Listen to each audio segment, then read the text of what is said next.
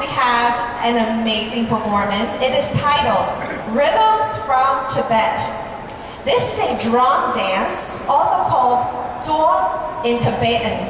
It is a bold and vigorous dance with powerful rhythms from the drum.